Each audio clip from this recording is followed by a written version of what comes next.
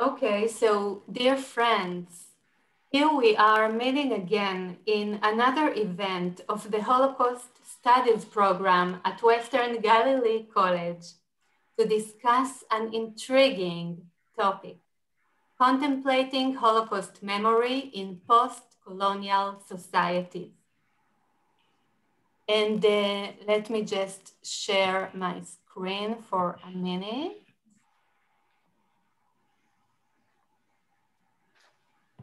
Gradually, we are all getting used to this previously unknown platform of the Zoom and find its benefits. Today, we have a moderator from Southampton, England, panelists from Israel and Canada, and audience from the entire world.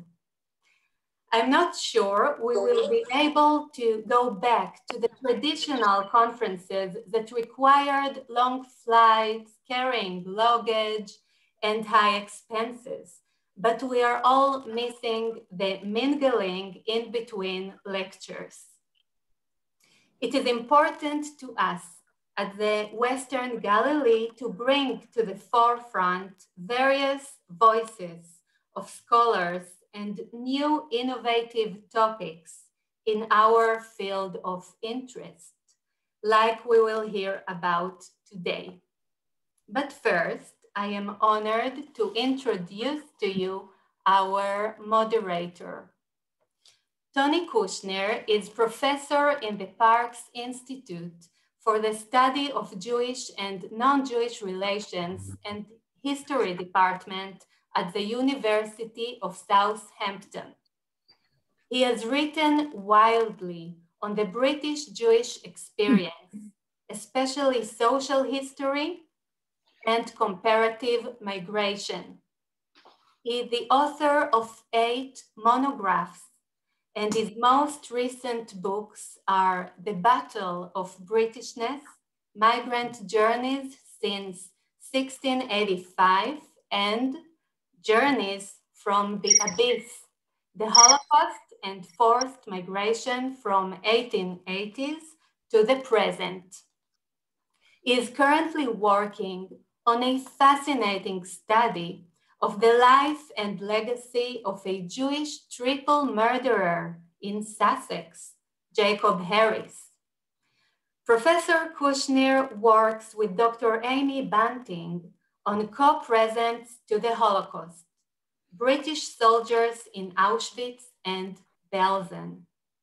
He is co-editor of the journal Patterns of Prejudice and deputy editor of Jewish Culture and History. And uh, here are some technical notes.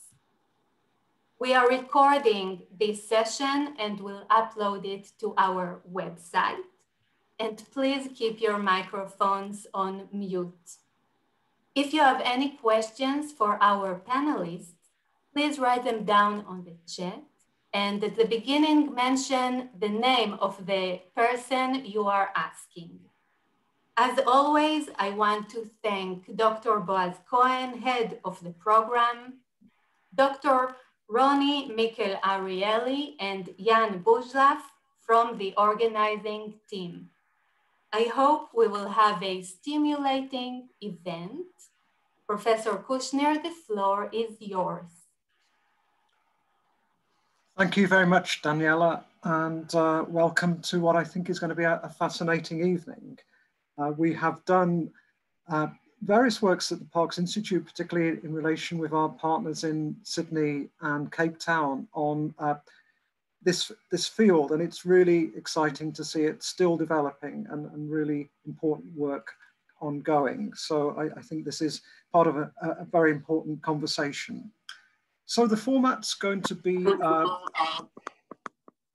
three uh, papers which we will take uh, in, in turn and then we'll have general discussion. Well I, I will lead off the, the discussion. So uh, I will introduce each speaker in turn so I'm delighted to introduce Sarah Phillips Casteel, who uh, was part of uh, uh, our sort of dialogue um, in Cape Town some years ago. Uh, where we were developing themes that we're discussing tonight. Uh, Sarah is Professor of English at Carleton University in Ottawa, Canada, and she's also uh, appointment in the Institute of African Studies. And I think that reflects that, that duality that we're going to hear about tonight. She's author of um, Calypso Jews, Jewishness in the Caribbean Literary Imagination, um, Columbia University Press, which is a fantastic book and I really recommend it. And it uh, rightly won a, a, Canadian Jewish Literary Award. She's also co-editor of Caribbean Jewish Crossings, Literary History and Creative Practice uh, from last year. Her current uh, book project um, addresses literary and visual representations of, of Black victims of Nazi persecution. And tonight she's going to be talking about decolonizing Holocaust memory in Caribbean literature, Haitian writer Louis Philippe Dalembert. Sarah. Thank you so much, uh, Tony, for the the kind introduction. Um, this is a nice, continu- uh, in a way, continuation of our earlier discussions back in, in Cape Town and London. And thank you so much um, to Roni for the invitation. I'm really uh, pleased to be part of this uh, discussion. And it's been exciting to see how much more space has been opening up recently for these kinds of discussions at the intersection of Holocaust studies and post-colonial studies. Um, so my own research over the last decade or so has sought to contribute to these discussions by drawing attention to a pattern of repeated reference in Caribbean literature to two uh, Jewish historical traumas, the Iberian expulsion and the Holocaust. With regard to the latter, Caribbean fiction and poetry attest both to the global circulation of Holocaust icons and to how Holocaust memory has been localized in colonial and post-colonial settings. Caribbean literature offers a significant example of the transcultural operations of Holocaust memory, one that has been obscured by the institutional divide hmm. between Jewish and post-colonial studies. And uh, what I found is that one of the distinctive features of Caribbean Holocaust narratives is that they often identify not only symbolic resonances between Jewish and African diaspora experience, but also material intersections. Caribbean writers display an awareness of a multi-layered history of Jewish settlement in the region, extending from Jewish participation in the slavery uh, and plantation economy starting in the 17th century to the flight of refugees from Nazism to the islands and Caribbean mainland in the 1930s. While such points of intersection have been obscured by what uh, the literary critic Bryan Cheyette calls disciplinary thinking, they come into focus in Caribbean imaginative literature. And I'm particularly interested in the capacity of literature as a medium of cultural memory to recover occluded histories and thereby challenge some of these disciplinary silos. So I'm going to try to um, share some uh, images now to uh, um, uh, help you uh, kind of follow along with some references that may be um, perhaps uh, uh, somewhat unfamiliar. Can everyone, can you see the, uh, the slides? Yes. They're visible. Yeah, okay. Um, so a case in point uh, is a small body of historical fiction and poetry that addresses Jewish wartime refuge in the Caribbean. Examples include Jamaican writer John Hearne's Land of the Living from 1961 and Antiguan author Jamaica Kincaid's novel Mr. Potter from 2002, as well as um, several other works by European Jewish writers who themselves followed this escape route to the Caribbean. Alternately ambivalent and identificatory, literary narratives of Jewish refuge in the Caribbean convey a permeability of Caribbean and European wartime memories not registered elsewhere. And what I'd like to do today is to address uh, one of the most recent and I think uh, richest additions to this literary corpus, which is Haitian author Louis-Philippe Dalembert's Avant que les ombres s'effacent, or Before the Shadows Fade, uh, a, a novel from 2017, which tells the story of a Polish Jew who flees to Haiti in 1939. And I think this novel offers a very striking example of how Caribbean writers reshape Holocaust memory from a post-colonial vantage point. Steeped in references to Jewish cultural life, the novel at the same time brings into focus the Haitian cultural setting of its refugee protagonists' resettlement and the Haitian diasporic presence in wartime Europe.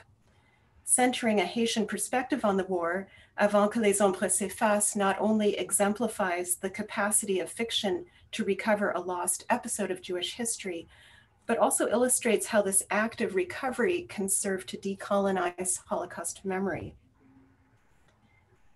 Dalembert novel can be read alongside a series of recent studies by historians such as Marion Kaplan, Eric Jennings, and Joanna Newman that address refugee flight to the Dominican Republic, Martinique, and the British West Indies, as well as other sites. I'm showing you here also an image of uh, a site in Paramaribo, Suriname, where Jewish refugees were, were housed when they arrived. Uh, but while scholars have recovered these hidden histories of Caribbean wartime refuge, they have not yet turned their attention to Haiti with uh, the exception of a couple of Haitian scholars. Instead, Haiti tends to be introduced as a comparator in discussions that draw parallels between Holocaust and Haitian refugees. A more direct link between Haiti and the Holocaust was suggested by a post on the website of the American Joint Distribution Committee that appeared shortly after the 2010 earthquake in Haiti. The Post noted that in a little known piece of JDC history, roughly 150 refugees made their way to Haiti. In the United States Holocaust Memorial Museum's Holocaust Encyclopedia, the search term Haiti produces only two results, both relating to the post-war period.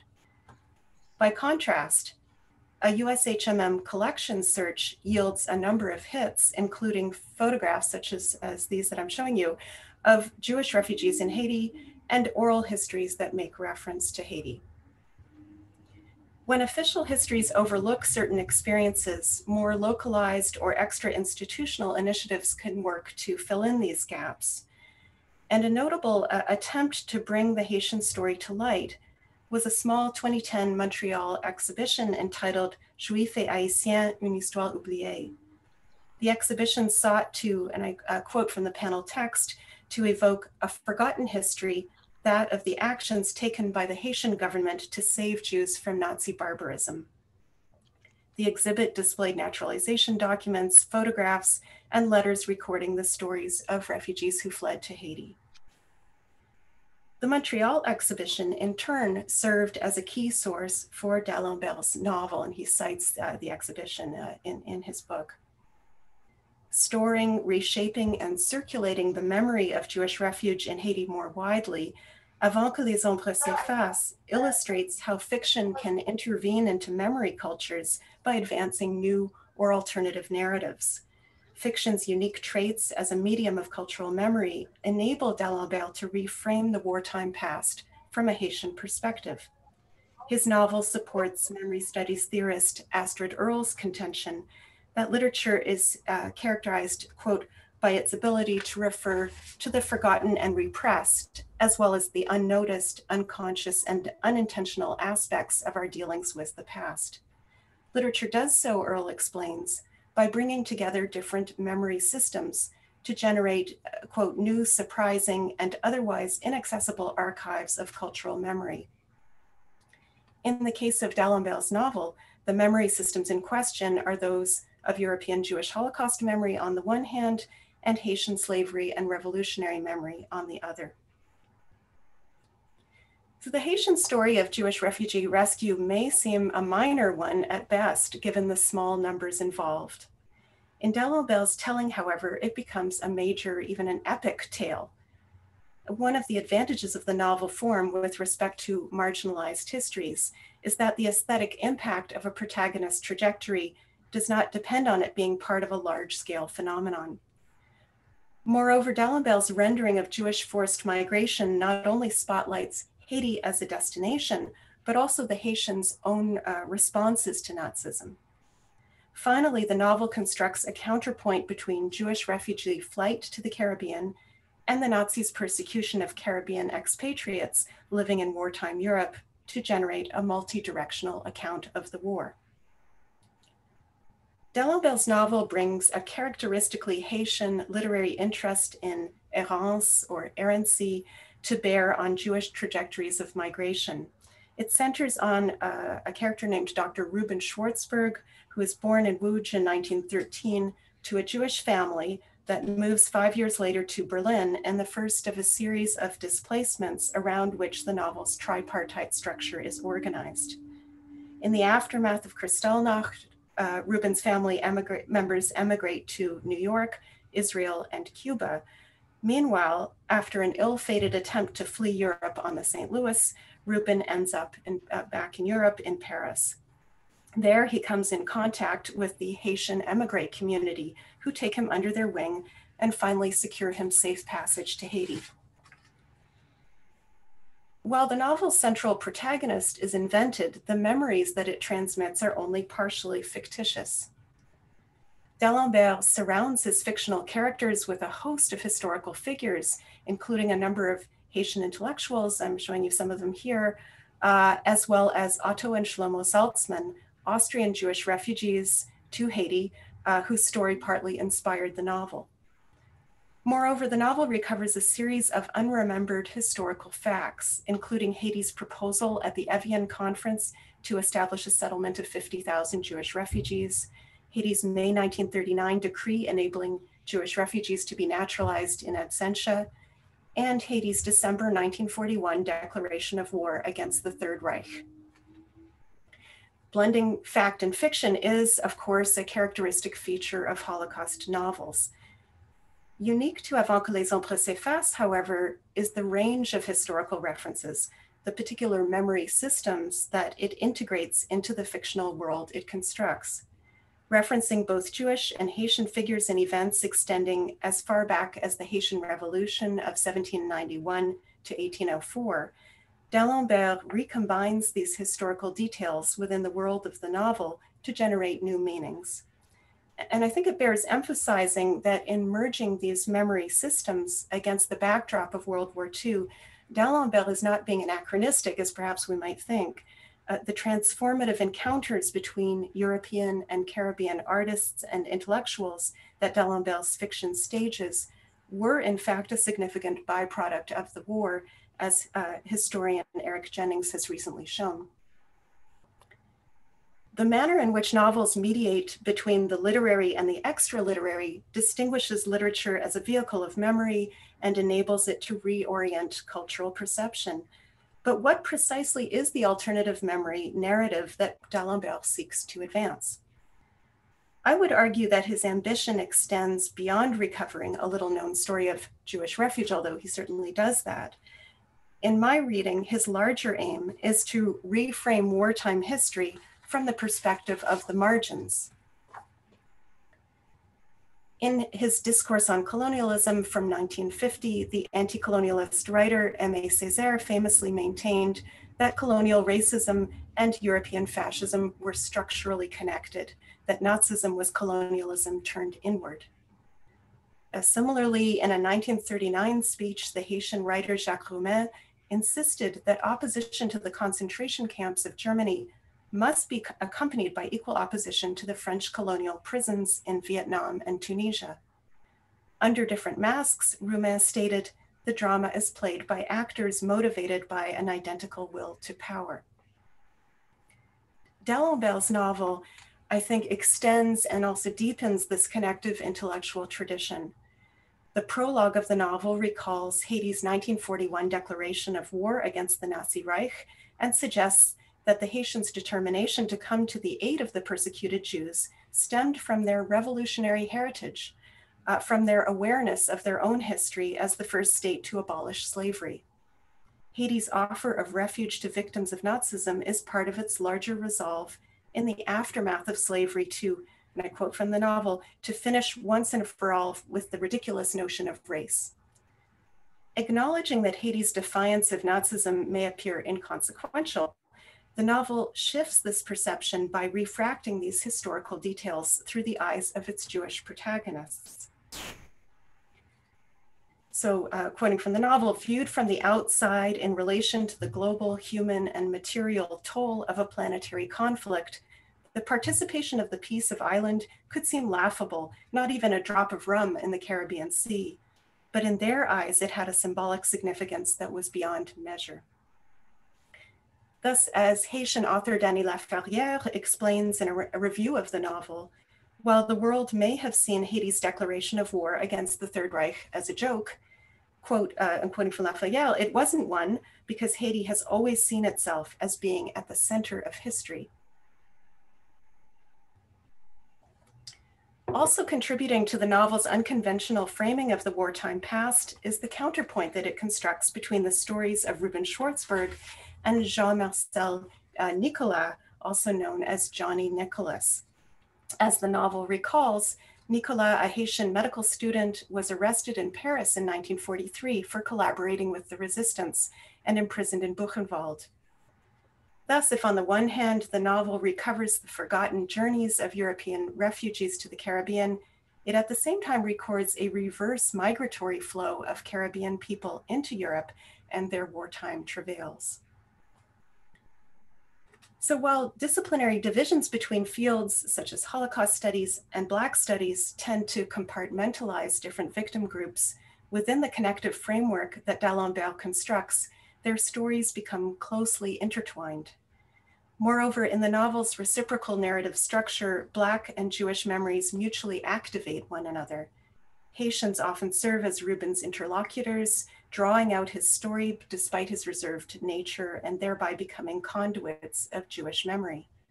Yet the reverse is also true, as memories of the Haitian Revolution, the American occupation of Haiti, and Caribbean victims of Nazi persecution, such as uh, uh, Jean Marcel Nicolas, all circulate within this Holocaust novel. And I think the novel's most striking uh, fusion of Haitian and Jewish memory systems is its introduction of a Caribbean philosophy of creolization, which rejects the idea of pure origins as a challenge to Nazi racial science. This conjunction is first articulated in the prologue, which casts Haiti's response to the Nuremberg laws as informed by its own experience of racial mixing resulting from plantation slavery. And I'll give just one last quote from the novel here. One must therefore not speak to them of the purity of the race, of authentic identity, and all that bullshit. We are bastards, and that's all there is to it. In keeping with the novel's Creolist poetics, after his arrival in Haiti, Ruben Schwartzberg learns the Creole language, undergoes a Vodou baptism, and marries a Haitian woman. He thus comes to embody a Creolized Jewishness that is expressed on the level of form through the novel's dense intertextuality and its polyglot integration of Yiddish, Hebrew, and Haitian Creole phrases. And um, Dalembert has commented about the novel that he felt his task as a novelist was to create this kind of linguistic uh, synthesis, to create this unique voice of, of the novel. So just to conclude, uh, in Avant que les ombres s'effacent, this interweaving of languages and cultures ultimately conveys the fundamentally creolized, impure character not only of individual identities, but also of metropolitan and colonial histories challenging disciplinary thinking in Dalembert's retelling the wartime experiences of Europe and the Caribbean are not separable, but instead are profoundly interlocking. To convey these confluences, Dalembert harnesses the fictional privileges of literary narrative, mediating between the real and the imaginary, and combining apparently unrelated memory systems in unexpected and often quite startling ways. As a vehicle of cultural memory, literature has the capacity not only to recover forgotten historical episodes, but also to shift the vantage point from which history is narrated. Exemplifying this capacity, Dalembert's novel generates images of the wartime past that transform our perception of it, moving Haiti to the center of the story and thereby decolonizing Holocaust memory. Thank you. Thank you very much, Sarah. That was a wonderful paper and gets us off to a, to a great start. So thank you for that multi-layered paper and, and uh, introducing a fascinating novel. We're going to, um, so everyone keep, keep that um, paper in mind, but we're going to move straight away to this, our second speaker. Uh, and uh, it's a pleasure to introduce uh, Dorota Glowacka, um, who is Professor of Humanities at the University of King's College in Halifax, Canada. So continuing our Canadian emphasis this evening, uh, where she teaches classes in Holocaust and Genocide Studies, Gender Studies. Uh, in philosophy of race and critical theory. Uh, she is the author of, of many uh, works, uh, including uh,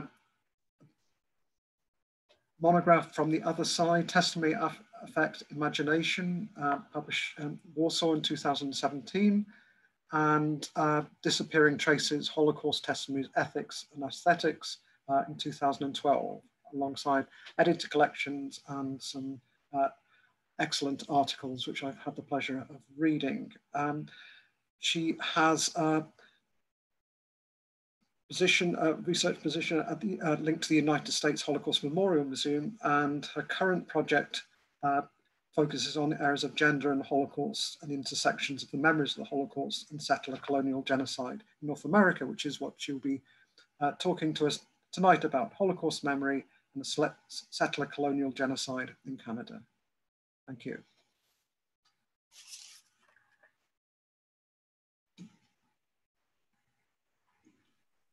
You are on mute. -hmm.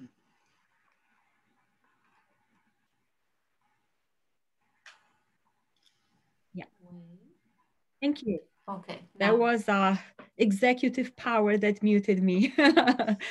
Thank you so much. I am I'm really delighted to be here. I'm I'm grateful for this invitation and it is just uh there's something special about seeing friends from all over the world um, showing up. Uh, so welcome everyone. Thank you. Um, I'm joining you uh, right now from Halifax or Kjipuktuk in Nova Scotia, Canada and to the Mi'kmaq, the indigenous people who have lived here for at least 10,000 years. Uh, this city has always been known as Kjipuktuk, which means great water. It was renamed Halifax and became the colonial capital of the region in 1749. Uh, and uh, so my university, where I am right now, are located in Mi'kma'ki, uh, the ancestral unceded territory of the Mi'kmaq people uh, this territory is covered by the treaties of peace and friendship between the Mi'kmaq, Maliseet, and Passamaquoddy peoples and the British Crown, first signed in 1725. Uh, the treaties recognize the indigenous title to the land and established the rules for what was to be an ongoing relationship between, between colonial settlers and the First Nations in the area. And we are all obligated to honor the terms of the treaties. Uh, the colonial history of Nova Scotia, however, was anything but peaceful. And in the past, for the Mi'kmaq, this beautiful land, it's, it's really, really beautiful here, uh, located on the shores of the Atlantic, was a moose hunting and fishing territory. But uh, from the colonial point of view, it was rich in natural resources and it was strategically located on the coast. So it became a focal point of the rivalry between France and England for the control of North America, which of course had disastrous consequences for the Mi'kmaq. Uh, over the centuries, the original inhabitants and stewards of this land have been decimated and uh, at the beginning of the 20th century almost brought to the brink of extinction by war, diseases, and hunger.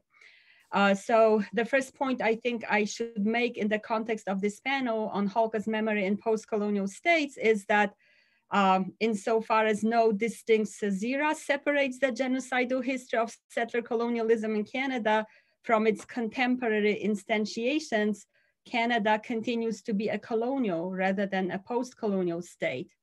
Uh, as Canadian Indigenous scholars have argued, uh, vestiges of colonialism continue to be entrenched in Canadian law.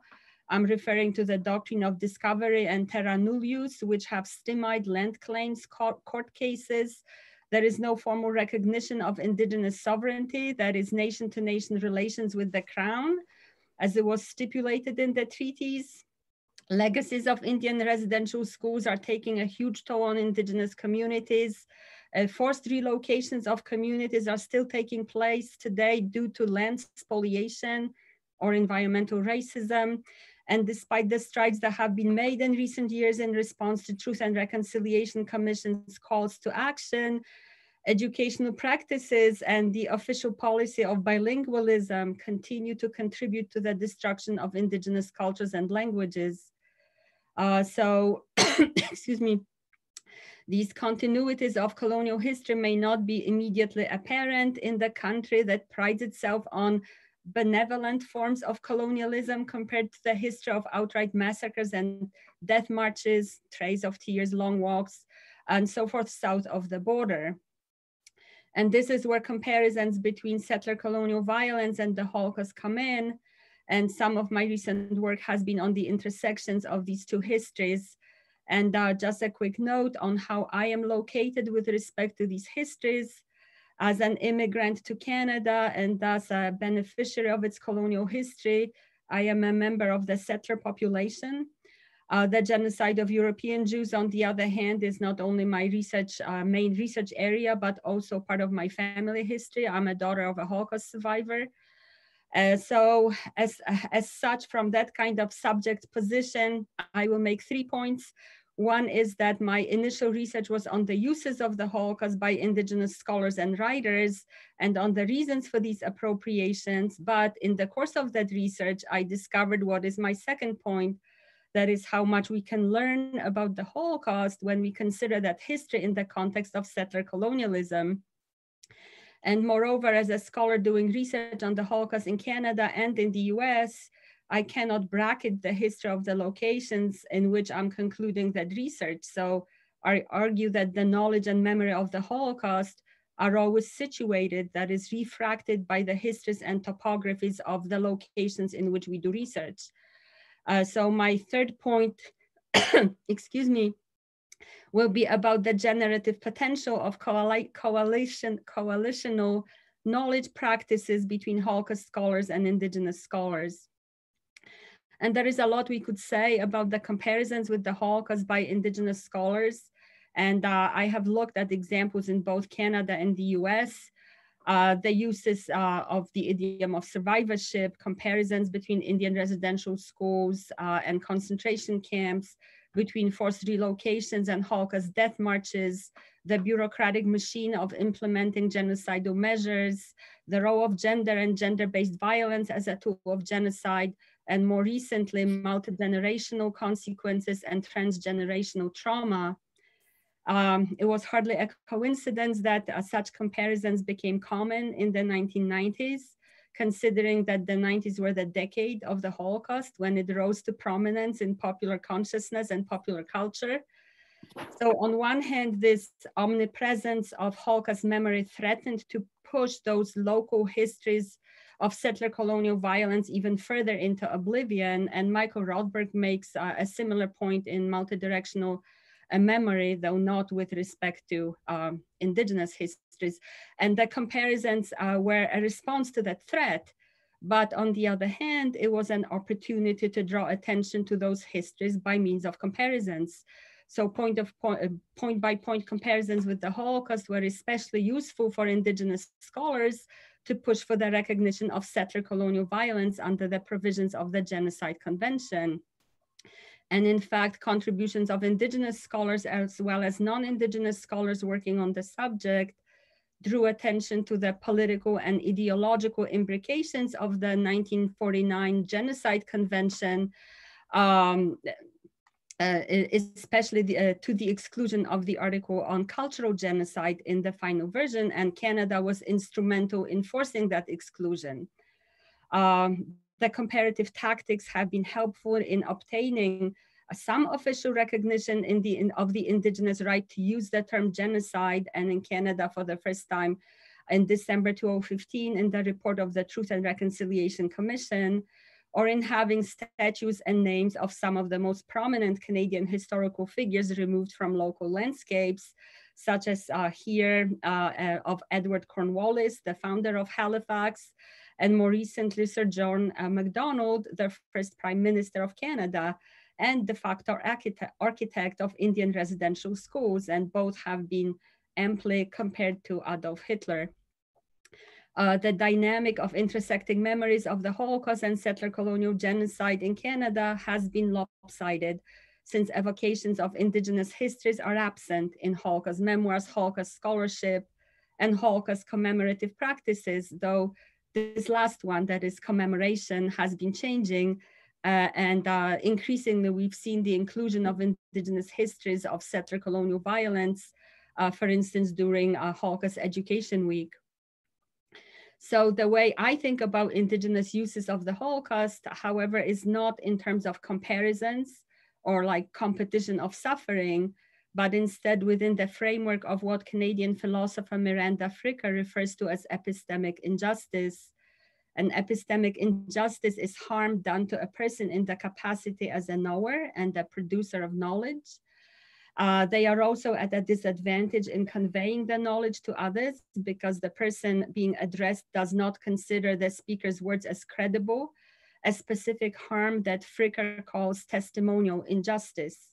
And uh, under colonialism, epistemic and uh, testimonial injustice are rooted in a radical differential between settler colonial and indigenous memberships in the dominant community of knowledge, or to quote Oglala Sioux scholar Vine Deloria Jr., why is knowledge about the world only valid and valuable when white scientists document and articulate it? That's in Red Earth, White Lies.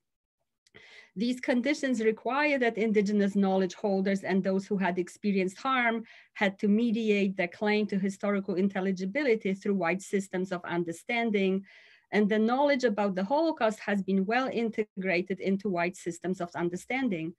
In Indian residential schools, these cognitive mechanisms of excluding indigenous knowledge claims from the realm of intelligibility um, were forced with coercive measures, but according to indigenous scholars, as long as colonial epistemic frameworks have not been dismantled, uh, this genocidal project of annihilation of indigenous cultures and livelihoods has not come to an end.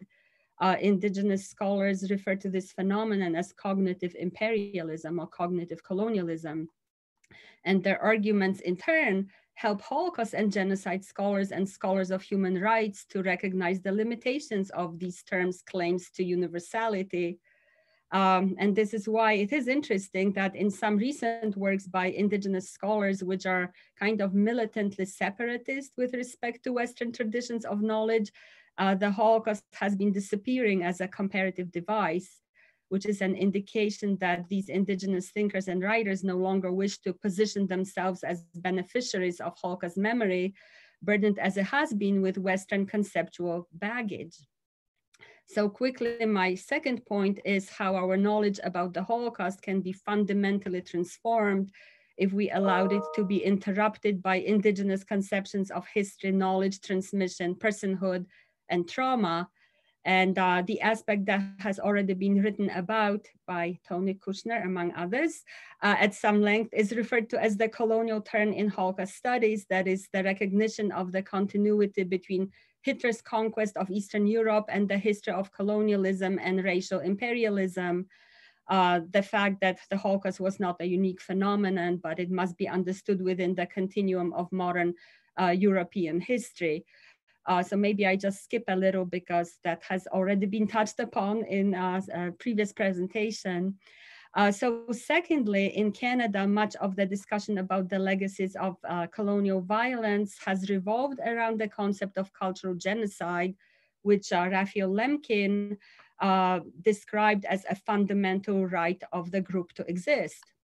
And the term has been gaining currency in the discipline of genocide studies, partly in response to the assertion of indigenous peoples' cultural rights in the 2007 UNDRIP uh, United Nations Declarations of the Rights of Indigenous Peoples, but it has not been commonly used by Holocaust scholars. And I find the concept of cultural genocide very useful to think about the annihilation of Eastern European Jewish culture, which is the culture of my ancestors, including the fate of Yiddish, the language of the majority of Ashkenazi Jews. And we know that Nazi Germany engaged in a deliberate and systematic destruction of Jewish cultural heritage, a pattern that is consistent with genocidal campaigns both prior to the Holocaust as well as more recent ones. In Germany of the 1930s, the destruction of Jewish books, libraries, places of worship preceded physical annihilation and was carried out in the form of public spectacles. The progression of the campaign of mass murder in the early 1940s in Eastern Europe in particular was marked by an increased pace and fervor with which Jewish cultural heritage was obliterated. And all of this has been documented by Holocaust scholars, but only as a kind of secondary aspect with respect to, uh, in comparison to physical murder. Uh, and the same goes for the history of Jewish resistance, Amida, with its emphasis on armed resistance, why in fact, in most cases, it was resistance in the form of protecting cultural heritage. Um, and the same can be said about how we conceptualize Jewish survival and, and so forth. So I'd argue that a certain colonial mentality is ingrained in the Holocaust studies mindset regarding the destruction of the culture of Eastern European Jews, although this has been changing lately. And a symptom of that mentality, in my view, is thinking of the world of Eastern European Jewry as a vanished world. And that was popularized by Roman Vishniac, nostalgic portraits of the life of the shtetl, kind of frozen in time. But if we consider Vishniac's North American context, however, I don't think it is far-fetched to argue that the idea of the vanished world, which entails this memorial impulse to save it from oblivion, is redolent of the cultural myth of the vanishing Native American. And I'm thinking of the sculpture End of the Trail, George Catlin's portraits, James Fenimore Cooper's novels, and so forth. And they were all monuments to a dying race. Uh, the cultural construct of a vanishing people or a vanished world conveys the idea of a group's culture as an artifact worthy of preservation, though as if separate from its members' physical existence, which is doomed to be extinguished. So my desire to reconsider our understanding of a vanished world stems from, and this for me is an unsettling realization that this trope and the way the lives of Eastern European Jews in general have been remembered may emanate from the same colonial knowledge paradigm. And this is not to undermine Holocaust survivors' mournful words about the vanished world of the childhood, because I hold them in highest esteem, but I'm arguing for a need to consider the way in which the Western world after the war has remembered the Jews of Eastern Europe uh, and how this way is implicated in the paradigm of Western knowledge, which is an imperial colonial paradigm. Uh, just maybe a quick example, there are crucial differences to be considered, of course, especially in indigenous people's relation to the land, and to the oral transmission of knowledge. Uh, one of the useful terms I've come across in my research that can be potentially applicable to cultural genocide and the Holocaust is libricide, the destruction of books and libraries, which in the words of Ruth Knuth, excuse me, who coined the term, affects the foundation of the group identity for those uh, uh whose self-identity is rooted in the tradition of written records, such as the Jewish people. But here, uh, Knuth quotes Barbara Tuchman, who said in one of her public lectures that, I quote, books are humanity. And this is a very powerful statement, but it excludes from the definition of humanity groups that rely on the oral transmission of the cultural identity.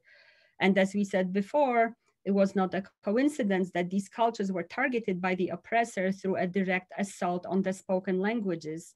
So with, with much respect to, to both Tuchman and, and Knuth, for me, this is an example of what indigenous scholars call cognitive imperialism. And uh, to conclude, as a Holocaust scholar who has engaged with histories of settler colonial genocide over the last few years, I've been dislodged from a Holocaust-centric way of thinking about mass violence and genocide. I've been forced to recognize the importance of decolonizing Holocaust studies that is the need for Holocaust scholars to acknowledge our tacit complicity in perpetuating an oppressive knowledge system and to actively seek to revise its foundational concepts. And uh, in my view, to conclude, this can only be done in forging coalitions with indigenous scholars. And as a matter of fact, I think this is the first time in three years uh, since I presented on this topic at the Holocaust Museum that that I'm, I'm presenting on this topic uh, by myself rather than uh, together with an indigenous scholar, which I think uh, is the way perhaps to, to do it. Thank you. Thank you so much. And thank you for a really powerful presentation and, and uh, provocative one as well. So we are adding to our, our rich collection of presentations and we'll no doubt be coming back to your presentation again shortly. Uh, our final speaker this evening is uh, Roni Mikel Arieli, um, who is a cultural historian and uh, works on the intersection between Holocaust memory, contemporary Jewish history, and human rights, and uh, is currently a postdoctoral fellow at Yad Vashem. Uh, she she's currently working on a, a project that uh, I, I, did a little bit of work on recently and, and thought, thought this is something that needs a lot more work doing on Jewish deportees on Mauritius. So I'm delighted that you're, you're following that up. Um, and she is about to publish uh, a very important study, which I've, I've been very lucky to hear some in early stages of remembering the Holocaust and racial state, Holocaust memory in South Africa, uh, from apartheid to democracy. Uh, and it's linked to that tonight he's going to be speaking on, uh, on the Holocaust on trial in the racial state, reactions to the Eichmann trial in apartheid South Africa. Roni. Thank you so much. I will just share my, my screen. Okay. So uh, thank you, Tony, for the kind introduction. This paper is part of a chapter from uh, my forthcoming book, which explores cultural and discursive performances of Holocaust memory in South Africa during the apartheid years.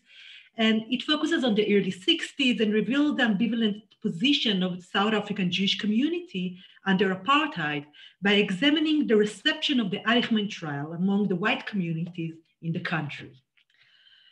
The Jews' whiteness, as in the South African context, placed them in a much more powerful position than other minorities who were members of the Black, Indian, and colored communities. Jewish immigrants from Britain founded the Jewish community in South Africa in the early 19th century, and the community grew in the late 19th century with the arrival of Jewish immigrants from Eastern Europe, primarily Lithuania given the right-wing pro-Nazism of Afrikaners during the 30s and the, 50, the, the 40s, uh, and including the direct influence of Nazism on the ideology of apartheid, the subsequent development of South African Jewish identity was ambivalent, fearful of the potential for state-sponsored anti-Semitism. The established Jewish community sought to demonstrate Jewish whiteness and loyalty to white concerns to secure a place of belongings for Jew, for Jews under the apartheid government. And the, the, accommodation of South African Jews within the white minority and their albeit uh, uh, ambivalent assimilation into whiteness was made possible by a relative change in the attitude of the National Party towards the South African Jewish community during the 50s in 1951, the ban on the Jewish membership in the Transvaal branch of the National Party was removed. And in 1953, South African Prime Minister Daniel Malan visited Israel, voicing his admiration for the Jews' ability to maintain their national identity despite centuries of adversity. Nevertheless, events in South Africa during the 50s and the early 60s reinforced the Jewish community's anxieties as apartheid rule progressed. The apparent disproportion of Jewish names in the list of those political opponents of apartheid accused at the treason trial and later on at the Rivonia trial deeply affected the public image of the Jewish community, thereby feeding its ongoing anxiety. The South African Jewish Board of Deputies and the community as a whole distanced themselves from the Jewish individuals who actively involved in the anti-apartheid struggle and accused, accused them uh, of threatening the entire community. The South African society was also shaken by the Sharpeville massacre of 21st March 1960, in which local police officers opened fire on a crowd of Black protesters, killing 69 people.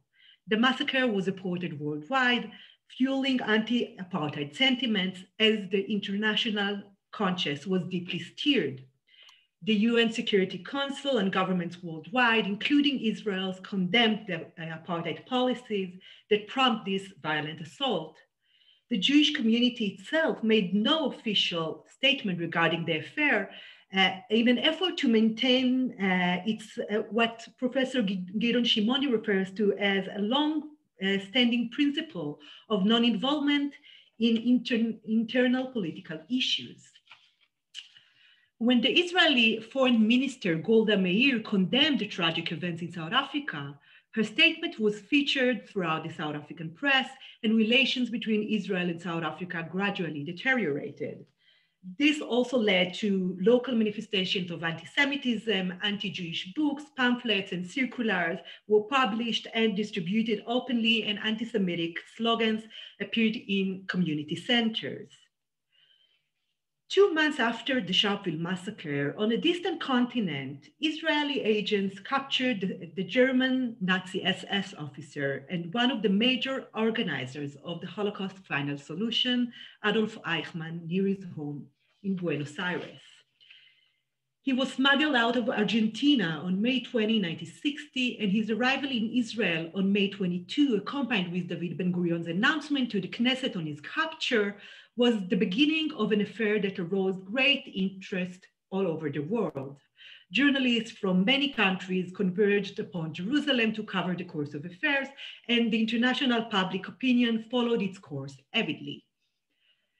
The Eichmann affair was also a topic of major discussion in South Africa, and it was featured uh, prominently and extensively in the local press. And uh, a periodical report of the South African Jewish Board of Deputies from that period stated relations between the Jewish community and the rest of the population have been influenced not only by ma- many significant domestic developments within the Republic of South Africa, but also by the historic events connected with the capture, trial, and execution of Adolf Eichmann. There can be no doubt that it did much to enlighten the moderate sections of the populace on the real implications of Nazism. However, it also stimulated a measure of activity among the professed supporters of Nazism in this country. Now, this description is not uh, completely accurate. In short, an examination of the national press reveals a much more critical reception of the Eichmann trial by the white communities in the country. Indeed, a discourse analysis of the Jewish press uh, reveals that the Jewish press made efforts to uh, expose the public to the horrors of the Holocaust through its comprehensive coverage of the affair. Moreover, the discourse analysis of the national press shows that the Jewish community was, uh, and of course the leadership was quick to respond to the publication of critical letters and articles criticizing Israel uh, regarding the affair, uh, equating uh, such uh, manifestations as anti-Semitic and as an act of contempt, toward, contempt towards the Holocaust and its victims. However, such an analysis also reveals the mountain scope of criticism voiced by the white society regarding the affair. And as I will demonstrate now, what was interpreted by the Jewish community as an anti-Semitism and uh, the desecration of Holocaust uniqueness was actually an expression of what, following Michael Rothberg, I will term a zero-sum struggle regarding collective attitudes towards human suffering. On 29 June 1960, a letter was published in The Star, which stated, and I quote, about the Eichmann affair, I wonder what the reaction of the Israeli government would be if a group of volunteers from, say, England were to arrive in Israel charged with the capture of the leaders of the Jewish terrorists responsible for the murder of so many British soldiers. The use of the term volunteers here is not at all accidental. As soon as the news of Eichmann's capture became public, Argentina demanded details. And in response, Israel issued what has been described as the one of the most undiplomatic notes in diplomatic history. The Israeli statement started that, and I quote, volunteers who happened to be Israeli had established contact with Eichmann and inquired whether he would come to Israel for trial. After he spontaneously agreed, they brought him to Israel and turned him over to the authorities. It further emphasized that Israel had been ignorant of these details until Argentina demanded an explanation and in, an investigation was conducted. So the use of the term volunteers in the letter was aimed at criticizing Israel's response for its lack of re reliability Moreover, by defining members of the Jewish underground in the Jewish Yishuv in Palestine during the British Mandate as Jewish terrorists, the writer undermined the Jewish Zionist narrative uh, that perceived the struggle against the British mandate as a struggle for national liberation and the Jewish underground movements as national liberation movements. The letter furthermore emphasized that the Jews would do well to remember that they were not the only people to have suffered as a result of man's folly towards his fellow men.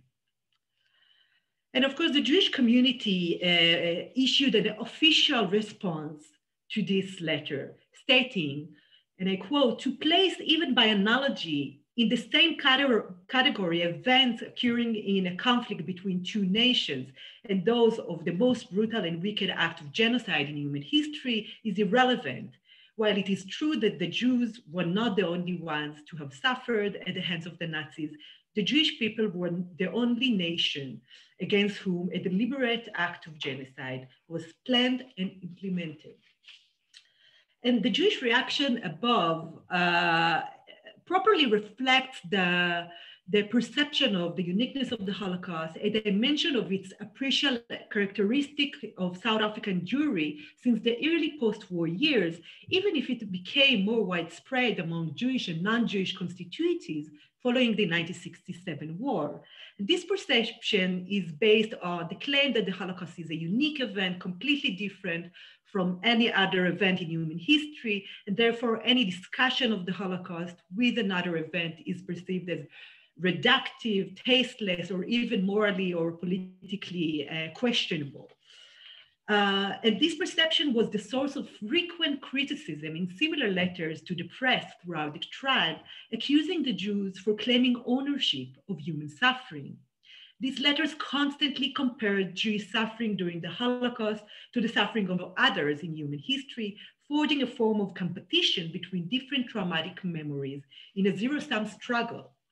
The letters, which for the most part dealt with the raising of local traumatic memories and their comparison with the Jewish trauma, generally contain no claim of uh, Holocaust denial, although some argued for Jewish exaggeration and hypersensitivity about their trauma. These letters nonetheless reveal tensions between the various, uh, Jew, uh, the various uh, white communities in the country regarding the place of collective memories of suffering in the public arena. And this brings us to, to the uh, uh, multi-directional memory paradigm of Michael Rothberg, which steered the discussion of memory away from competitive models and claim that the dynamic of different uh, historical memories are not necessarily based on a zero-sum struggle. And instead of competition, he offers a more flexible model. Uh, uh, however, Rothberg focuses on the public articulation of collective memory by marginalized or oppositional groups as carrying the potential for enabling other groups uh, to articulate their own claims for recognition and justice. But the memories of suffering that were invoked in the letters in the South African press were not memories of marginal groups, but rather those of the privileged white communities in the country. And uh, uh, historian uh, Dunbar Moody argued that the Afrikaner civil religion uh, is surrounded uh, by the secret history, uh, which is made up of two cycles of suffering and death, the Great Trek and the Anglo-Boer War. And these uh, cycles of suffering were amply represented in a letter uh, to Die Volksblad, written by Cape, a Cape Town uh, citizen under the pseudonym Righteous. And he writes, it amazes, it amazes me that Germany, which was and still is a highly civilized nation, produced so many war criminals during the Second World War, while the Allies emerged with a, from, from the fight with so much honor. Now, one wonders what the followings are called. The British who threw 30,000 women and children into camps in the English war, the wiping out of the German city of Dresden, when women and children were uh, chased onto an open square and put uh, under the annihilating patrol bomb. When the American burned to death half a million Japanese women and children with their experimental atom bomb. Now I ask only, What are all these and numerous other cruelties, bravery, heroic deeds, Western achievement? Now, the writer did not deny uh, the extermination of European Jews by the Nazis, nor, nor did he defend Eichmann. However, he did express his displeasure at the fact that under the shadows of the Holocaust, uh, other crimes committed by the Allies were disguised. Moreover, the writer sing, singled the victims who had so far been perceived as perpetrators, the Afrikaners, the Japanese, and the Germans. While there is no doubt that in all those cases, innocent civilians were killed in bloody wars, the writer chose to ignore the difference between Holocaust victims and other victims of the war. And this comparison is problematic in Rothberg terms, since it does not reflect the difference between the rank of historical events that are described and thus undermines the possibility of creating empathy and solidarity and while the official Jewish community rushed to denounce the, its content, uh, in its content, I would like to turn to a response, a fascinating response made by a Holocaust survivor living in Cape Town, who wrote, I have seen at various times that certain people doubt stories about the Nazi cruelties, irrespective of the great mass of proofs, but immediately quote the stories of the British camps in order to explain what true cruelties are. Two wrongs do not make a right. Therefore, the gassing of millions of uh, innocent people cannot be condoned by the memory of 26,000 poor women and children who died in camp. Their suffering, like this, uh, that of the inhabitants of Dresden and Japan, was the ordinary fate of people in war-plagued regions. And this letter touches at the heart of the question of how to think about relations between different social groups, histories of victimization, claiming that remembrance of one history does not erase others from view. The writer rejects the assumption made by many memory scholars, no. uh, by many, many memory scholars that the public space, sphere in which collective memories are articulated is an arena of secrecy, and that the, intera the interaction of different uh, collective memories within that sphere takes the form of a zero-sum struggle. However, it still makes the clear separation between the Jewish victims of the Holocaust and the Afrikaners, Germans, and Japanese, who he perceived uh, as victims of war. And while uh, the, most of the local uh, newspapers uh, voice penetrating criticism of Israel regarding the affair, uh, illustrating the zero-sum struggle, I would like to conclude uh, with an example of one of the few rare voices pointing to the trial's relevance to the local social situation of apartheid South Africa. In an exchange published by uh, the Cape Times between the Israeli prosecutor uh, Gideon Hausner and the defendant Adolf Eichmann, Eichmann admitted moral guilt but denied legal responsibility for the Jewish tragedy. Eichmann implied that there, uh, there are those who give orders and those who carry them out, positioning himself on the obedient side. And evoking this defense, the article stated, it is easy to grasp, to gasp with horror at the extreme effect of this outlook in the case of an official like Eichmann. It is easier still to ignore similar situations at home when the effects are less spectacular, but the principle is identical. When the relevant officials are, for instance, mm. ordered to, to turn a dozen families out of their homes in the middle of a cold and wet spell, knowing that whatever the legal rights or wrongs, many babies and old people will be cold and probably wet for the night. Where does moral responsibility begin or end? This article was exceptional within the local discourse in South Africa. And uh, the article points to similarities between Nazism and apartheid through linking the legal and moral responsibility of the aggressors, the SS officers, and South African police. Moreover, it, it's clear reference to the similarities between the deportation of Jews into ghettos and concentration camps and the expulsion of Black families from their homes under the Group Area Act of 1950 reveals the essence of Rothberg's multi-directional memory, blending together the separate histories of non-white South Africans and European Jews while simultaneously allowing for the rearticulation of their specific conditions. But in contrast, in contrast to uh, solidaristic interpretations of these histories, however, the competition model remained prominent. The struggle over a prominent position in an imagined scale of human suffering increased the ambivalent position of the Jewish community as a separated, privileged cultural and religious group.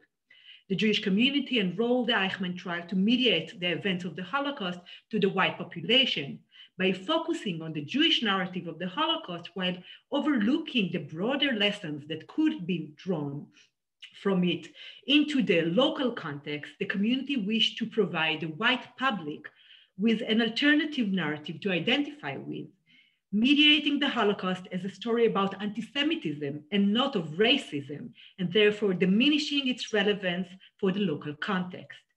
However, as there is no doubt that the local white society perceived the Holocaust as integral part of the Jewish community's history and identity, the criticism regarding Jewish ownership over human suffering occupying the discourse overshadowed the community's efforts to use the Eichmann affair uh, instrumentally to contest anti-Semitism in the national public sphere. Instead of achieving empathy, the Jewish community's confrontational uh, preoccupation with the affair served mainly to perpetuate its own ambivalent status. Thank you.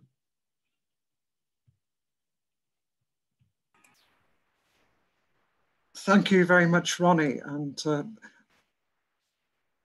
ending our, our three papers so well. So my task is to try and bring things together, which I won't do overly do. And I also want to leave space uh, for participants to, to ask questions. Uh, and we're running a fraction late. So I'll keep my comments brief. I, I think it's very uh, fitting that we have a very international gathering this evening and that meeting that we've covered Haiti, South Africa, Canada. We've also I think, uh, I think this is very significant, covered and, and crossed over disciplinary lines. So literary cultural studies, political history, anthropology, uh, and that I think is a very rich way ahead.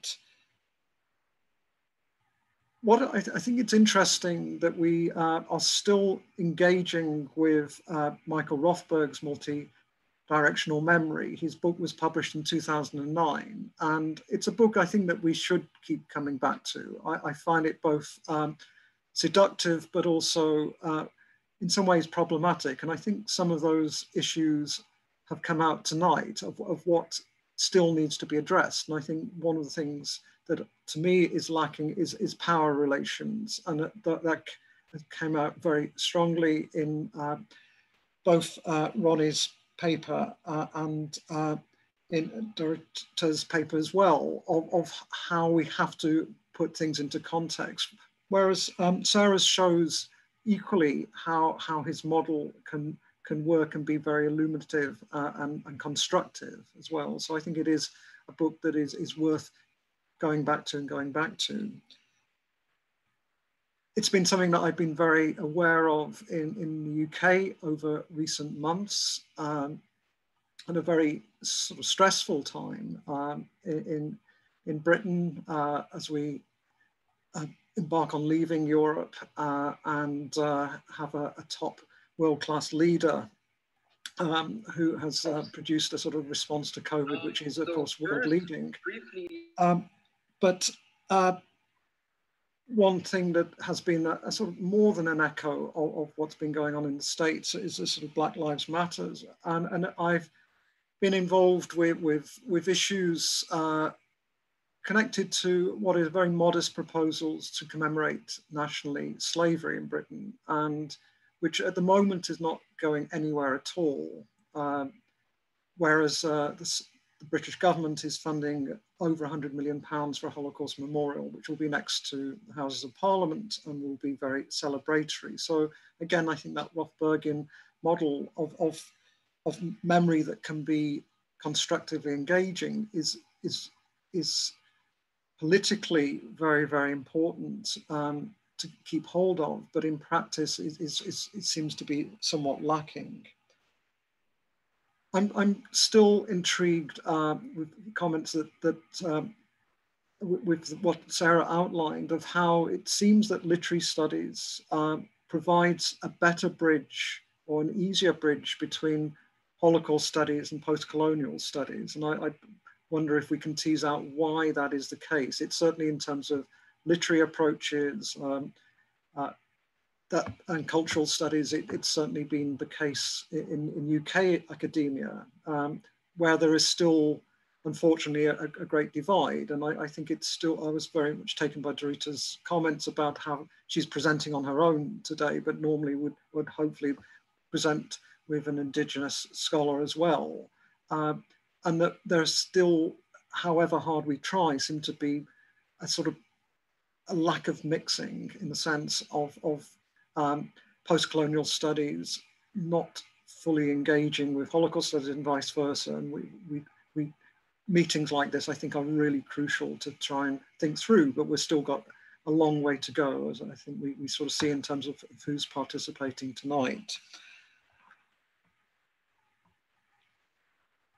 So I, I, I, don't want to, to go into too much details of the paper because I think they're going to be uh, questions will be asked of from the audience, and I want to give the space to that. I just would, would praise each one for, for showing the complexity, uh, nuances, uh, but also I think the potentials um, and the challenges that are ahead. So uh, I would like to leave it there and open it up um, for the last 15 minutes for, for questions.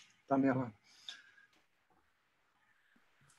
Yes, thank you so much. First of all, I want you all to uh, check out the chat. Chaim Sperber from the um, Western Galilee College is going to upload um, a call for papers for our uh, workshop. And uh, Jan, are you here to, to ask the questions? No, Jan Jan's internet is is uh, has crashed, so uh, he's not with us. Okay. Um, so we have a, a general question from uh, Shmuel Yerushalmi. Um, and they ask all three participants uh,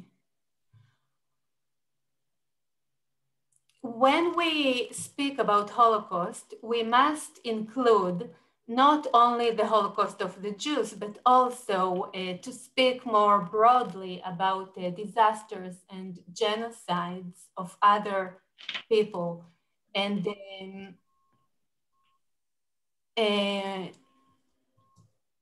can you comment on, on, uh, on this issue, all of you? Maybe we start with Sarah. Can you, oh, can you, okay, can you read the question again? Sorry. We can we, we can even yes. ask Samuel uh, uh, Samuel just to to explain what what his question is. Samuel, can you uh, can you help us here? Yeah, I hear. Thank you. Okay. Uh, my question uh, uh relation to connection between between Holocaust of Jews in Europe to other disasters and collapse in the world. I know like to genocide against the people of Africa, genocide against Indians in Americas and other collapse along humanity history. And I want to know how exactly we can today to cause to governments and the people around the world to see a Holocaust or any universal any universal lesson to next generations for to prevent a Holocaust. I can to see new Holocaust in the future. This uh, my question. Okay, thank you. So Sarah, would you like to go first? Um, okay, thank you uh, for the question. I'm, I'm not sure I can really speak to the question of, of preventing future genocides, but in terms of the sort of um, necessity of thinking these histories together, and, and, perhaps a little bit thinking back to Tony's comment about literature as, as a medium as well, um, and some of the differences perhaps between um, you know, other uh, forms of memorialization, um, political discourse, and so forth. I guess what I'm finding in my research is uh, on, on literary um, texts is a, is a, focus on stories, uh, biographies of individuals that really um, kind of bring together these different histories in a way that becomes inescapable. And that's true um, both of fictional creations like the, the protagonist of this novel that I spoke about um, today, who crosses these geographies and goes from uh, Poland to, to Germany to, to Haiti, um, but also some of the um, uh, in my larger research right now on uh, Black victims of Nazi persecution, some of the figures I'm following, again, in their own biographies, bring together these histories. So to give just a quick example, I'm looking at uh, an artist um, from the Dutch Caribbean colony of, of Suriname who had both uh, Jewish and African heritage. And so already, you know, in his biography, there is this confluence of these histories. And then he travels um, from the Caribbean, first to the United States and then to Europe, and gets caught up in the war and interned by the Nazis in Bavaria. This, I'm just give this one biography as an example of how I think sometimes we think of these histories as very separate and we talk about these sort of abstract analogies. Um, can we compare these things? But in much of the research I've been doing, it's really uh, the way in which they intersect in the lives of individuals that's become very interesting to me. And I think the Caribbean is a particularly striking site because identities are so complex there and so mixed. And you have um, Jewish lineage that runs through many of the islands as well. So um, so, so, that's sort of the uh, approach that I've been taking to this question of comparison is really to focus on on these uh, uh, historical um, intersections that are in the biographies, often in the backgrounds of the writers themselves, and that also come out in in the fiction. Okay, thank you so much. And uh, Dorota, you have a question from uh, Dan Stone. You can also uh, comment on this question, but please keep it short because we are running out of time. So the question to you is uh, how, how do you view the collections of survivors' oral histories um, with your, uh, let's say, critic about over reliance on Western traditions? Thank you. That is a fantastic question. Thank you, Dan. Can I just say one thing in response to the previous one? Although, you know, yes, would, yes, of course. It would require a very long answer, but very quickly, the way I think about it is that no genocide stands on its own. And I think that's what I was trying to illuminate in my paper that uh, when we look at what instance of the genocide, in my case, uh, the Holocaust, it allows us to shed light on another instance of the of, of another genocide and vice versa because these are kind of longue durée historical patterns that unfold globally and they also unfold across various geographical locations. So i think it's imperative that we look at those interconnections. So it is imperative in fact that we uh, address these issues uh, comparatively but I have to stop myself here, uh, although I would like to continue and return to Dan Stone's question. Uh, I think that is phenomenally interesting. Uh, I, I would begin to answer by trying to think about the status, the status, and I think very different status of a kind of oral transmission of knowledge in uh, Jewish history and Jewish culture and indigenous cultures. So there are very, there are, I think, important distinctions to be made and kept in mind.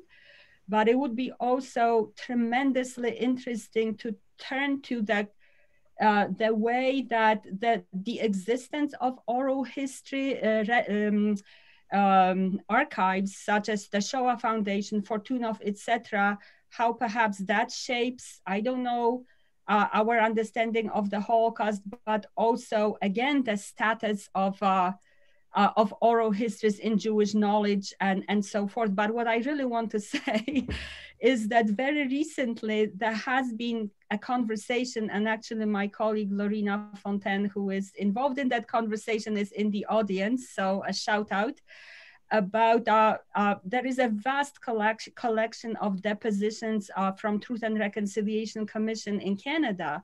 These oral histories have now been recorded, very similar to histories of Holocaust survivors, accounts of Holocaust survivors. So now there is some conversation of like bringing those two resources together. And uh, actually for, for the Truth and Reconciliation Commission, uh, depositions to be included in the Shoah Foundation.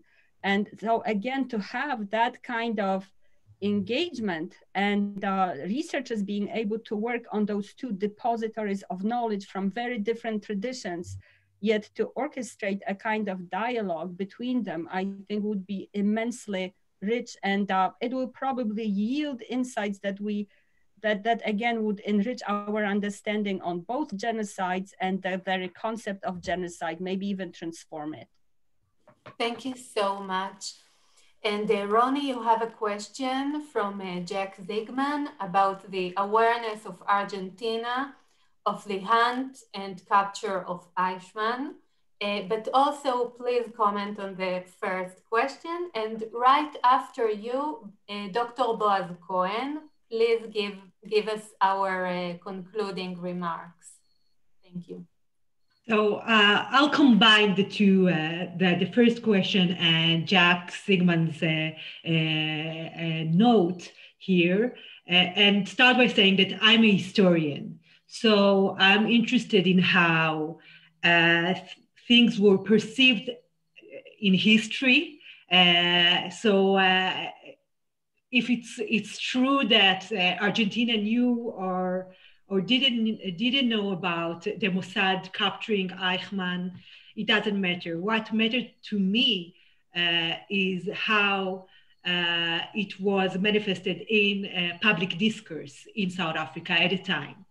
Uh, and uh, and uh, for the, the first question about the Holocaust and genocide, I think uh, that what's really uh, happening here, what happened here today at the panel, was uh, uh was a, a, an, an, effort to to create a space for entangled histories and memories of Holocaust and genocide.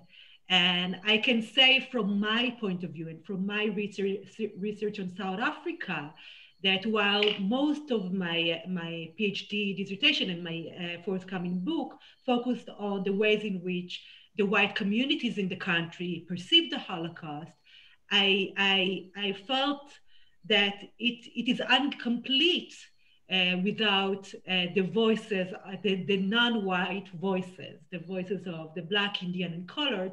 And uh, so I, de I de did dedicate two chapters focusing on the ways in which Holocaust memory was uh, perceived by political act, activists who were not part of the white communities. Uh, one of them was Desmond Tutu, the Archbishop of Cape Town, and uh, the other was Ahmed Mohamed Kathrada. And uh, this led me uh, to, uh, to, to realize that, uh, for example, the diary of Anne Frank was smuggled onto Robben Island during the late 60s and became the second Bible for, for the political prisoners. Uh, and uh, they uh, circulated it, they copied it, and I was very fortunate to to find in the Robben Island archive the secret notebooks of Ahmed Kathrada, where I found 13 quotations from the diary. And also, uh, I was uh, very lucky to, uh, to being able to interview him six months before he died. uh, realizing that uh, the Holocaust, as he perceived it, because he he was an uh, anti-apartheid activist. He was part of the uh, Communist Youth League in the 40s, and uh, so he he was acquainted with Nazism and the Holocaust from a very specific angle. Uh, and uh, and in, uh, in 1951 he visited he went to, to Poland and visited Auschwitz and he took Uh, bones human bones from the ground and he decided to take it with him back to South Africa and used it as a material display in his political speeches so uh, of course as uh, uh, by stating that those are bones of, of Jewish victims, and this is the, the devastating consequences of racism.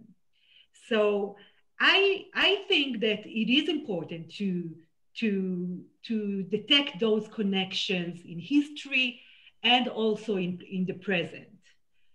But that's, that's my take.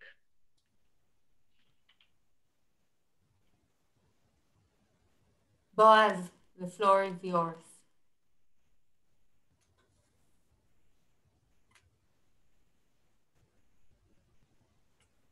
Boaz Cohen, you are on mute. Thank you for this uh, fascinating panel. I must say that this was Roni Mikel Arieli's uh, initiative, and this has brought us, which are more uh, regular or Holocaust-focused historians uh, into unknown, uncharted fields.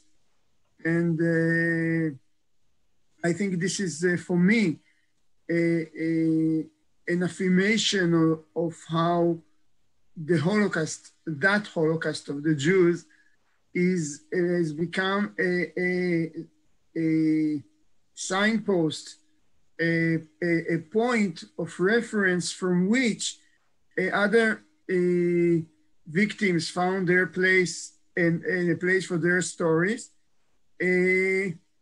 And I think this is uh, when we talk with our students in Israel, which are Israelis and are very uh, naturally focused on what on uh, the Jewish and Israeli story, and we try to explain to them how the Holocaust is a major event in world history because its implications are those that were shown today, and also because of this. And I think this was a very strong uh, point, which I will share with my uh, students. Uh, we are uh, continuing our project. I will say, I'll give a notice which is not yet published, but it is important those of you who are teaching and have students, we are uh, going to start somewhere in February, the Israeli second semester. We're going to start an international course of uh, startups in uh, Holocaust memory, open to students from wherever in the world. And it's not an academic lecture course, it's a it's an innovation course. We are working with one of the uh, firms in Israel which uh, specializes in uh, what is called project-based learning internationally. And we are going to have a course and uh, we'll send it out on our list, but this is a, a, a like a, a, pro, a, first call saying that if you have students that may be interested, it will be very uh, only a small sum just to register and you have to be accepted too, but uh, generally we're opening it worldwide. I mean, it will be open worldwide. I will teach the Holocaust angle and we'll have a whole team of people who are specializing in uh, project-based learning, helping the uh, form groups, international groups doing uh, new startups, startups in Holocaust memory. And once we have this written down, uh, uh, promotionally, we'll send it out also in the mails, but uh, I wanted to share this with you. This is another international project we are starting now. And uh, next, uh,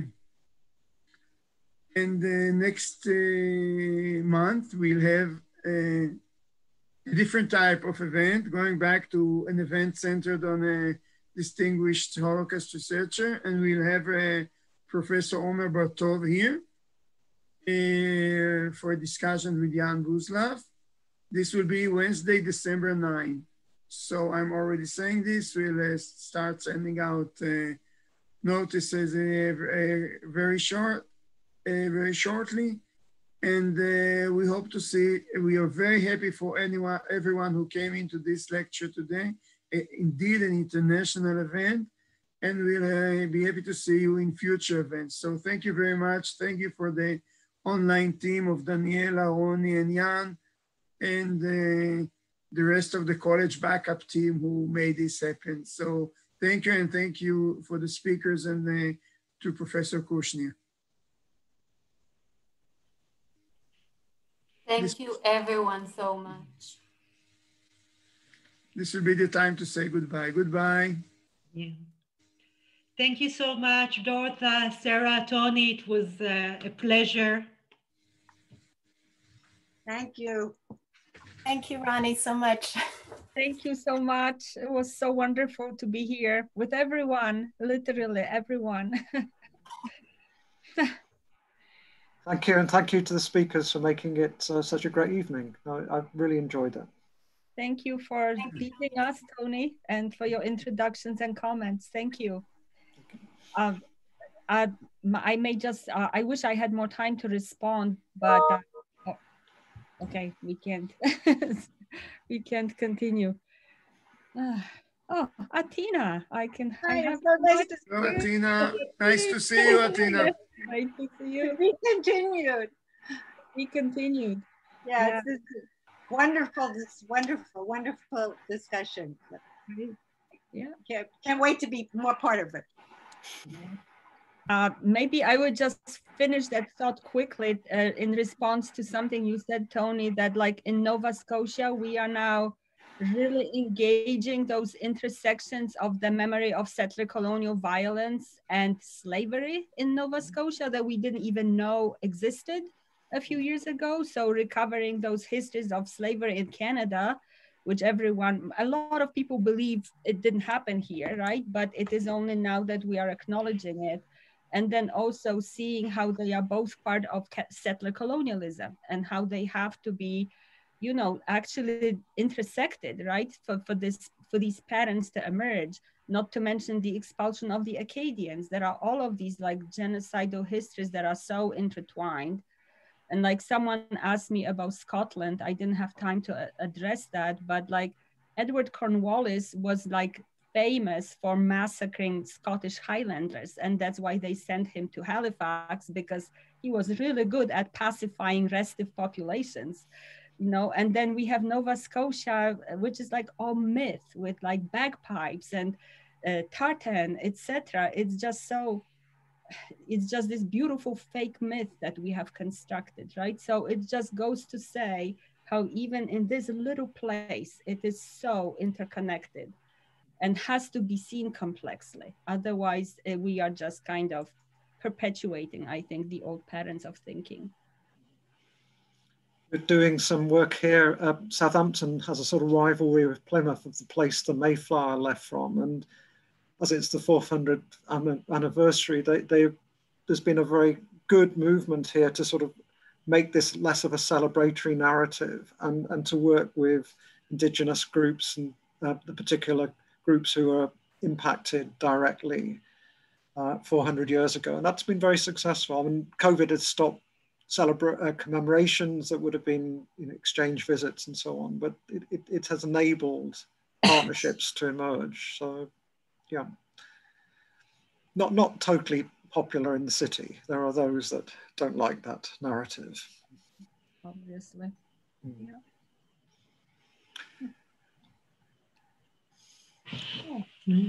Tony, I will write you separately about Mauritius. I'm I'm actually curious about. Uh, you mentioned that you you worked a bit on the subject, so I'll. I'll... Um, yeah, a, a, bit is is the accurate description.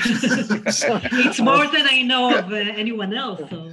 Um, no, it was it was in relation to I've, I've been doing work on the concept of illegal immigration and, and the Palestinian authorities Mm. and how they sort of use this as a sort of deterrent and, and uh, as a, a, sort of model of, uh, and yeah, so I, I think it, you know, I just was fascinated by it and thought someone should do some really detailed work because there's so many discourses at work there uh, and, and Yeah. policies as well.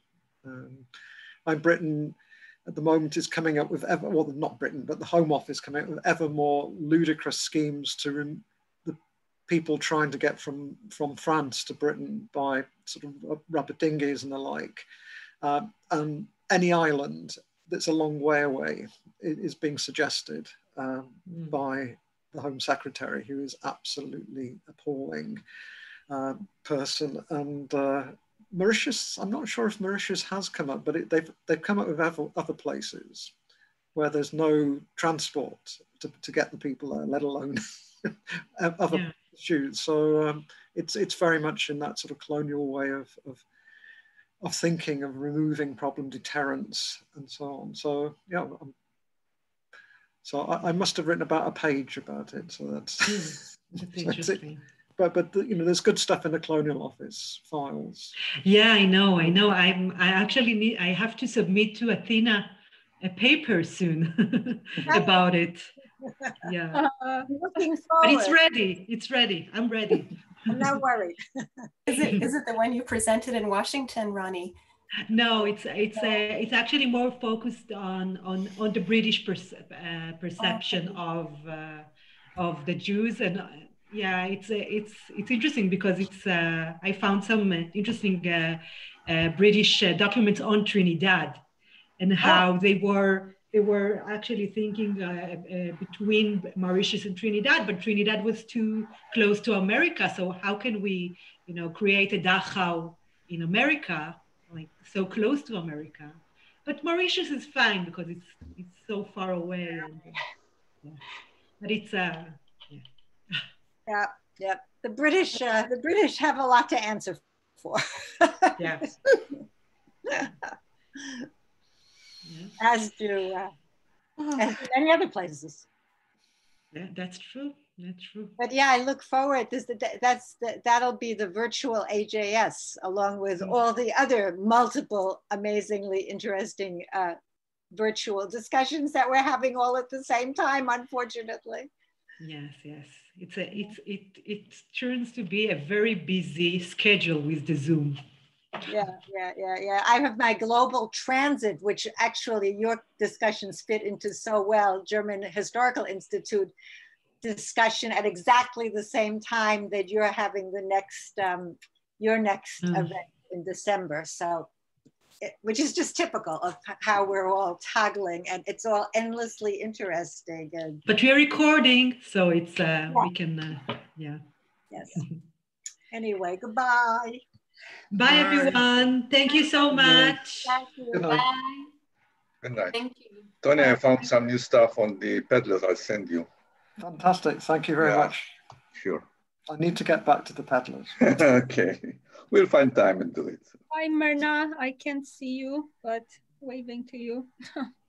it's been wonderful. I have to go back to my office hours now, uh, which are in progress. Well, it was a pleasure even to to listen to your. I, like what you're talking about. I think it's critical to deal Thank with you. the genocide of First Nations and and other genocides, and mainly cultural and physical genocides.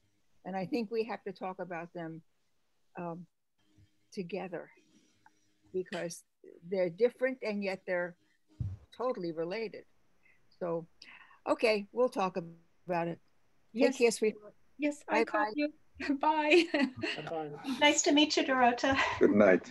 Oh, nice to meet you. Like, I hope to see everyone in person one day. I'm very much an in-person person, so Zoom doesn't quite uh, do it. Bye. Thank you so Bye, much. Tony. It's such a pleasure. Thank you. Bye-bye. Thank you.